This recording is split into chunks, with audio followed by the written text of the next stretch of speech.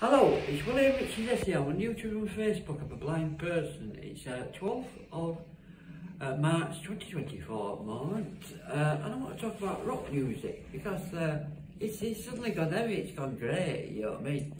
It's gone, gone absolutely great, rock music. Uh, um, uh, what I want to talk about is uh, on, on iPhones, if you go to music and press uh, either that or or or select a track or select an artist or something like that. You can get you can get music on on uh, on uh, on iPhones and stuff like that, and it's really good. I, I like rock music. Like uh, the moment it's gone down here, which is absolutely great. You know what I mean? I recommend it. You know what I mean? Mu the music part of the uh, iPhones. You know what I mean?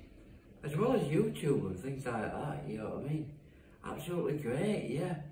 So I think, uh, well, even if you're into pop or whatever, or classical even, or uh, there's reggae, there's, uh, there's uh, blues, isn't there?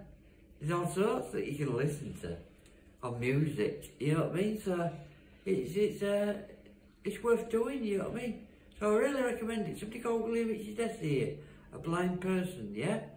You look after yourself, keep well, keep good. It's whatever it is at the end of the message. Bye.